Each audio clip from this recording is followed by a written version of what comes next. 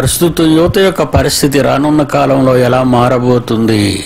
దీనికి మీరు ఇచ్చే సమాధానం ఏమిటి అబౌట్ త్రూ బైబిల్ అని ఐన్యూస్ వాళ్ళు అడిగిన ప్రశ్నకు గత రెండు వారాలు ఈ వేళతో ఈ ప్రశ్నను జవాబుతో ముగిస్తాను.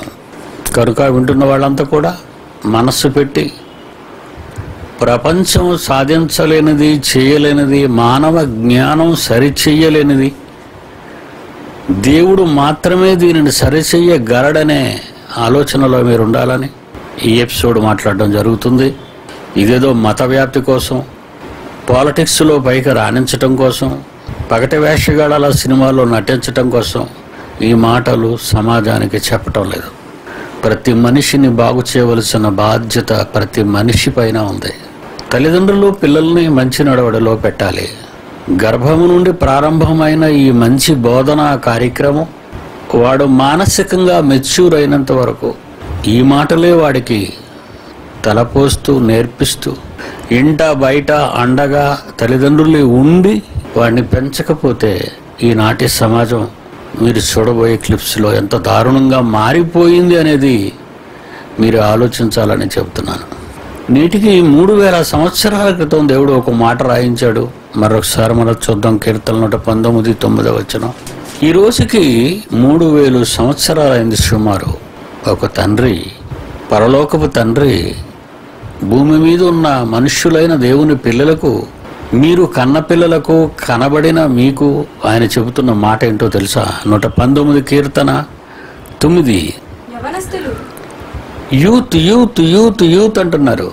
యూత్ అంటే రెండు తలకాయలు నాలుగు చేతులు నాలుగు కాళ్ళు ఉండవు. యువత అనగానే డిస్టర్బ్డ్ యూత్ అని. ఏదో మా దేశంలో యువకులు చాలా గొప్పవాళ్ళు ఇంజనీరింగ్లో మంచి పట్టబద్దులు అయ్యారు రాబోయే దినాల్లో గొప్పగా మారిపోతారు అని. మన నాయకులు చెప్పు తిరుగుతున్నారు డబ్బట్ట డప్పు కొడుతున్నారు. అలాగే ప్రపంచ దేశాల్లోని ప్రతి ర- పరిపాలి పరిపాలిస్తున్న ప్రతి ప్రతి రాజకీయ నాయకుడు నోటంటూ వచ్చే మాట ఏంటంటే మా దేశం చాలా గొప్పది డెవలప్ అయిపోతున్నారని. లేదండి. అధోగతికి పోతున్నారు. ప్రగతి కాదు. అధోగతి. అధోగతికి పోవటానికి ఈ రోజు నువ్వేం చేయలేవు ఇక. అవి పోతారు ఇక వాళ్ళు. ఈ తరాన్ని మర్చిపోండి. వదిలేసేయండి ఈ తరాన్ని. ఈ యువతని ఈనాటి తరాన్ని ఈ సంవత్సరం ఈ యువతను వదిలేయండి. మీ గర్భాలను పడబోయే పిల్లలను మీ గర్భం నుండి రాబోయే పిల్లలకు ఎపిసోడ్స్లో మొదటి రోజు చెప్పుకున్నాం. ఎప్పటి నుంచే మీరు మంచి మాటలు మాట్లాడుకోండి మంచి మాటలు గర్భంలో ఉన్న శిశువు విన్నట్లుగా చేయండి. యువకులు దేని చేత తమ నడవడిని పరిశుద్ధపరచు ఆను శుద్ధి చేసుకుంటారా వాళ్ళ నడతనే? ఏమంటే యువత శుద్ధి చేసుకుంటారా? ఒక రోగికి డాక్టర్ కావాలండి ఒక స్టూడెంట్కి మాస్టర్ కావాలండి ఒక ట్రైన్కి పా డ్రైవర్ కావాలండి ఒక విమానానికి పైలట్ కావాలండి షిప్కి అయితే కెప్టెన్ కావాలండి బస్కి అయితే డ్రైవర్ కావాలండి. యువతను ఏ రకంగా తీర్చిదిద్దుతున్నారు? ఇంజనీరింగ్లోనా? ఎంసెట్లోనా? బీటెక్లోనా? ఎంటెక్లోనా? కంప్యూటర్ ఇంజనీరింగా? సాంకేతిక పరిజ్ఞానంలోనా? వద్దండి తప్పు చేస్తున్నారండి. కనుక ఈ చెడిపోయిన యువత వదిలేయండి. ఇంకేళ్ళ మనం బాగు చేయలేని చూదురు కానీ ఎలా ఉంటారో వాళ్ళు? ఇప్పుడున్న యువత ఎలా ఉంటారో మీకు కళ్ళ కట్టినట్టుగా చూపిస్తాను నేను. మన దేశంలో మిగిలిన దేశాల్లో. కొరిందీలకు రాసిన మొదటి పత్రిక కొరిందీలకు రాసిన మొదటి పత్రిక పదిహేనో అధ్యాయము ముప్పై రెండు ముప్పై మూడు వచనాలు తీయండి అందరూ. కొరిందీలకు రాసిన మొదటి పత్రిక పదిహేనవ అధ్యాయము ముప్పై రెండు ముప్పై మూడు వచనాలు. మనుష్య రీతిగా. నేను ఎఫెస్సులో మృగములతో పోరాడుతున్నట్లుందర్రా. మీతో చెప్తుంటే మీరు అసలు వినకుంటున్నారా మంచి ముత్యములను పందులు ఎదుట వేయకండి. వేసి చెప్తున్నారు. మీకు తెలుసు. మంచి ముత్యాలని పందులు బురదలో దొరలొచ్చినటువంటి పంది ముందు వేశారనుకోండి ఆ ముత్యాలను తొక్కేస్తాయి అవి. ఎందుకంటే అవి ముత్యం అని వాటి విలువ చాలా గొప్పదని పందులకేం తెలుసండి? పందులకేం తెలుసు? వేసిన మేము దాని విలువ తెలియని ఆ పందులు వేసిన మిమ్మల్ని చంపేస్తాయన్నాడు యేసుక్రీస్తు. బైబిల్లోని మాట కదండి అది? అన్నీ మీకు చూపించు గతంలో చదివినవే మీరు అన్నీ. ఇప్పుడు ఇక్కడ ఏమంటున్నాడు? మొదటి కొరింది పత్రిక పదిహేను అధ్యాయం ముప్పై రెండో వచ్చినలో జంతువులతో పోరాడాలా? ఈ రోజు యువత మధ్యకి వెళ్తే వాళ్ళు జంతువుల్లో ఉన్నారండి వాళ్ళు. తిరగబడతారు. ఏందయ్యా? అయితే మాకేం చెప్తావు నువ్వెవరు? మాకు చెప్పడానికి? హో ఆర్ యూ చెప్తుందేనా? పెద్ద ఆయన వచ్చారు ఏదో చెప్తున్నారంటే విందామండి అంటారా? చాలులే చెప్పు వెళ్ళు. కన్న తల్లిని చూసి ఏమేమి ఆయన రాలేదని అడిగిన కొడుకండి దుష్ట సాంగత్యం.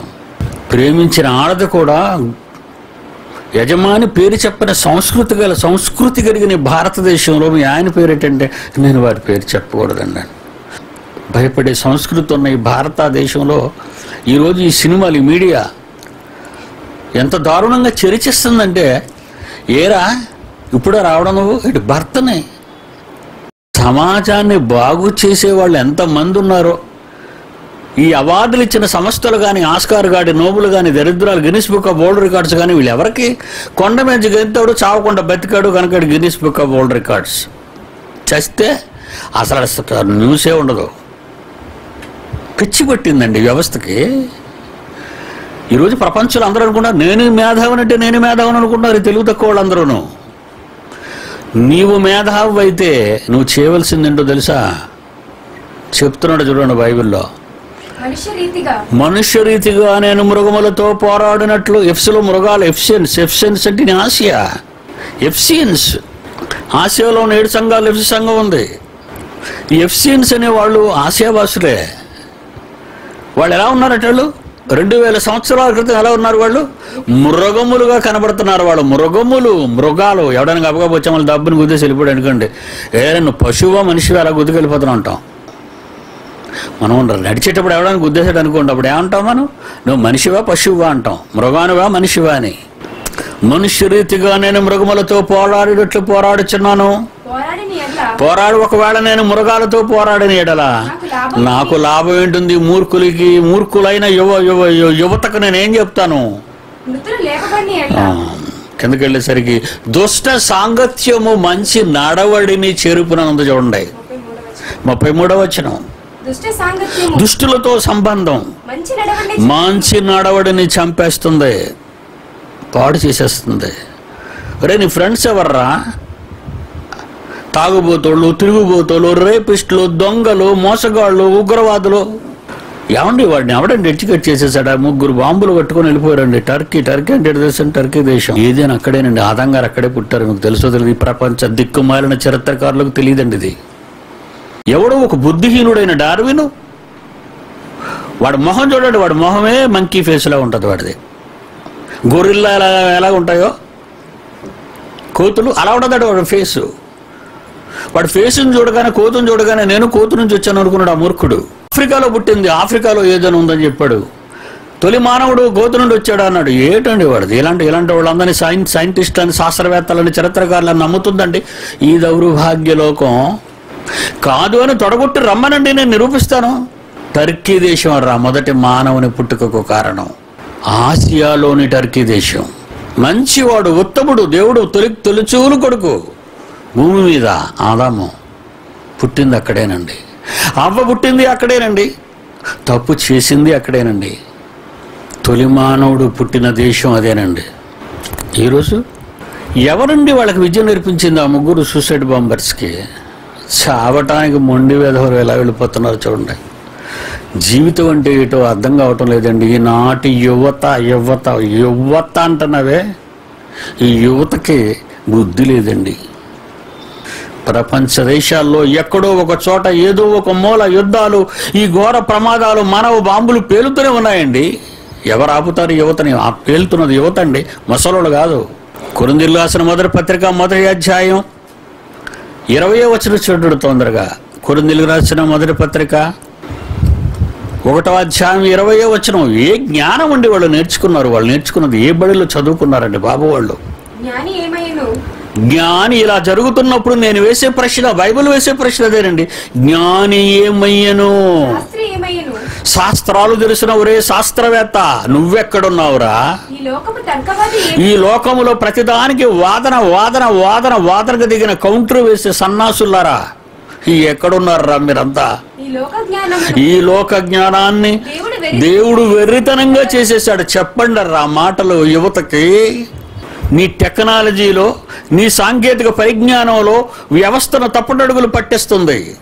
జ్ఞాని ఏమయ్యాడు? ప్రపంచ దేశాల్లో శాస్త్రాలు తెలిసిన శాస్త్రులు ఎక్కడున్నారు? ఈ లోకాన్ని ప్రతి దానికి వాదించేవాడు ఎక్కడున్నాడు? ఈ లోక జ్ఞానాన్ని దేవుడు వెర్రితనంగా చేసి ఇచ్చోడని అర్థం. మెంటల్ పేషెంట్స్ వీళ్ళంతా యువత కాదది. మెంటల్. యువత మెంటలెక్కిపోతుంది. ఎక్కడి నుంచి నువ్వు తప్పు చేశావు? మొక్కగా వచ్చినప్పటి నుంచే తప్పు చేశారు కన్నవారు. బడికి పంపిస్తే నేర్పించకుండా విడిచిపెట్టారు. భయం భీతి గౌరవం. ఆలోచించాల ఆలోచించాలని యువతండి ఇది. మూర్ఖులుగా మారిపోయారు. బడిలోకి వెళ్తేనే లవ్ బడిలోకి వెళ్తేనే ఆత్మహత్య ప్రేమ విఫలం బడిలోకి వెళ్తేనే ర్యాగింగ్. ఏమి ప్రిన్సిపాలు ఏమి లెక్చరర్స్. ఒకవేళ ఏ లెక్చరర్ అయినా నారాటోడు ఉండి గట్టిగా బెత్తంతో ఒక దెబ్బ కొడితే ఓ తల్లిదండ్రులు గేట్ల దగ్గర ధర్నాలు చేసి ఎందుకురా కన్నావు మరి వాళ్ళని? నువ్వు బాగు చేయకుండా ఈ ఈ పనికిరాని ఈ రిజెక్టెడ్ ఫీజుని పంపించావే మా కళాశాలలో చదువుకోమని. వీళ్ళు ఇక్కడ ఏం చేస్తున్నారు తెలుసా? ర్యాగింగ్ చేస్తున్నారా? చట్టం ఊరుకుంటుంది అధికారులు ఊరుకుంటున్నారు ఏలికలు ఊరుకుంటున్నారు. ఎందుకండి? ఏంటి తీసుకుంటున్నారు? యాక్షన్ మీరు చెప్పండి. ఎన్ని యాక్షన్లు ఎన్ని చట్టాలు చేసినా యువత అయిన తర్వాత వాడు మారర్రా బిడ్డ. మారరాళ్ళు. పుట్టిన నాట నుండి గర్భములో ఉన్నప్పటి నుంచి నేర్పించాలి ఈ పాఠాలు వాళ్ళకే. విద్య లేనివాడు వింత పశువు అని వాళ్ళు అనకు. విద్య అంతా ఉంది. వెద వెద వెదవన్నారు వెద వింత పశువుడు విద్య లేనివాడు వింత పశువు అన్నమాట ఒకనాటిది.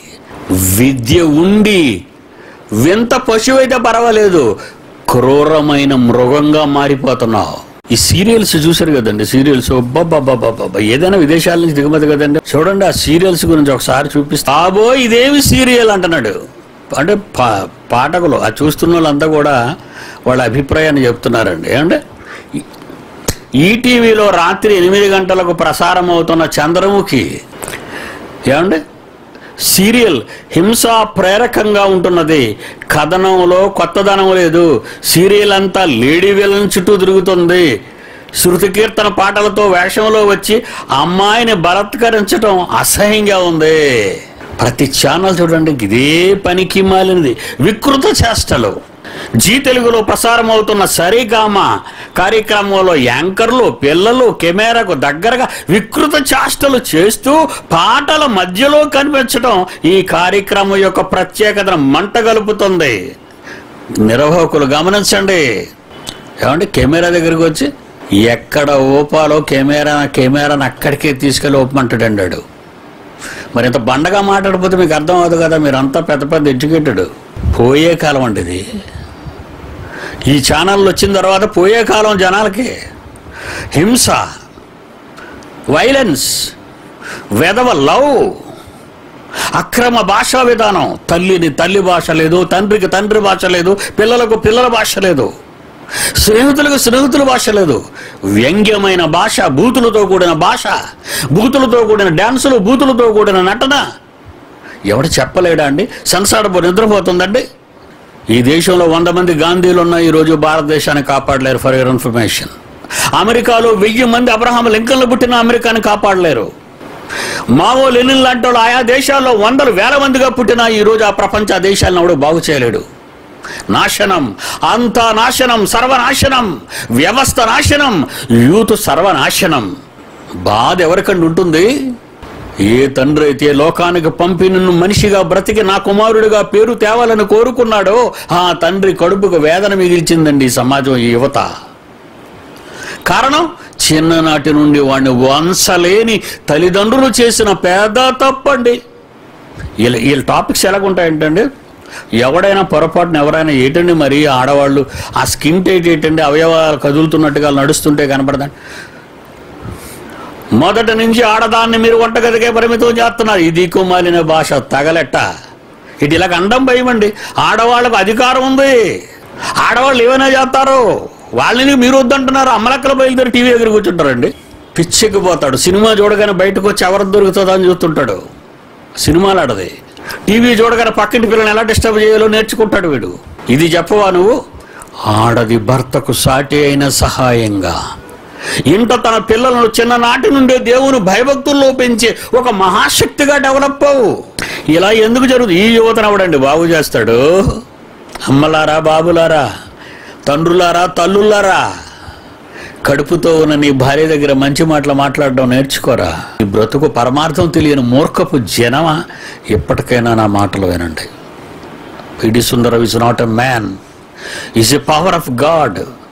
PD Sundaram is not a man is a word of God మీ బ్రతుకులు బాగా ఉండాలంటే భవిష్యత్తులో భారతదేశంలో యువత బాగుండాలి అంటే ఎప్పటి నుంచి కడుపులో పడ్డ పిల్లల పిల్లలందరినీ గర్భవతులైన తల్లిదండ్రులారా ఎప్పటి నుంచే మీ పిల్లలకు దేవుని గురించిన భయాన్ని నేర్పండి. కొత్త భారతావని వస్తున్నప్పుడు మరో రెండు మూడు తరాలలో కొత్త భారతావని మరో రెండు మూడు తరాల్లో ప్రపంచమే కొత్త తరంగా మారిపోతుంది. సామెతలు ఇరవై రెండు ఆరో వచ్చిన బాలుడు తెలిసిన త్రోవను వానికి నేర్పు అంటున్నాడు దేవుడు తల్లిదండ్రులతో. నేర్పండి వాడికి. వాడు పెద్దవాడైనప్పుడు. వాడు పెద్దవాడైనప్పుడు నీవు చిన్ననాడు నేర్పించిన మంచి మాటల నుండి తొలగిపోడు. కొరిందిరిగి రాసిన మొదటి పత్రిక నాలుగో అధ్యాయం పదిహేను వచ్చిన క్రీస్తునందు నీకు ఉపదేశకులు పదివేల మంది ఉన్న పదివేల మంది ఉన్నను. తండ్రులు అనేకులు లేరు. ఒకడే తండ్రి. ఆ. క్రీస్తు యేసునందు. సువార్త ద్వారా మిమ్మల్ని నేను కన్నాను తండ్రిగా అంటున్నాడు పౌలు. కొరిందీలారా నేను మిమ్మల్ని కన్నాను. ఈ రోజు నా నెట్లో నా మాటలు వింటున్నటువంటి నా పిల్లలారా వాక్యముతో నేను మిమ్మల్ని కన్నాను. నేను మీ తండ్రిని. చిన్ననాటి నుండి పస్తులతో బాధలతో తల్లిదండ్రుల తల్లిదండ్రుల పెంపకంలో ఎన్నో నేర్చుకుని పరిస్థితికి వచ్చిన వాడని నేను. ఏడు వందల యాభై కోట్ల ఏడు వందల యాభై కోట్ల మంది ప్రపంచ ప్రజలను కాపాడడానికి వచ్చిన వాడేరా నీ పీడి సుందర ఎవడనుకుంటున్నావురా వాడిని? వాడు ఎవరనుకుంటున్నావు? అబ్రహం లింకన్ అనుకుంటున్నావా? మహాత్మా గాంధీ అనుకుంటున్నావా? మావో అనుకుంటున్నావా? లెనిన్ అనుకుంటున్నావా? ప్రపంచ మానవాళి విప్లవాలక నాయకుడు కాదు. క్రీస్తు సామ్రాజ్య విప్లవాన్ని ప్రపంచ మానవ జీవితాలలో వెలిగించటానికి మార్చడానికి సరికొత్త వ్యవస్థను సమాజాన్ని పుట్టించడానికి పుట్టిన కారణజన్ముడు రా పిడి సుందర్రావు. ఏ శక్తి వాడిని ఏమీ చేయలేవురా. God bless you my children. మరి ఐనిస్ వాళ్ళు అడిగిన దానికి మూడు ఎపిసోడ్లో మంచి సమాధానాలు ఇవ్వడం జరిగింది. నెక్స్ట్ వీక్ నుంచి నెక్స్ట్ వీక్ నుంచి నేను మాట్లాడబోయే రెండో ప్రశ్న. భూకంపాలు కరువులు యుద్ధాలు వలన నరసంహారం జరుగుతుంది. నరసహ నరసంహారం జరగవలసిందేనా? వినండి టైట్లు. భూకంపాలు కరువులు యుద్ధాల వలన నరసంహారం జరగవలసిందేనా? దీని విషయంలో బైబుల్ మాట్లాడిందా? వచ్చి వారం నుంచి దీని విషయం బైబిల్ మాట్లాడుతుంది.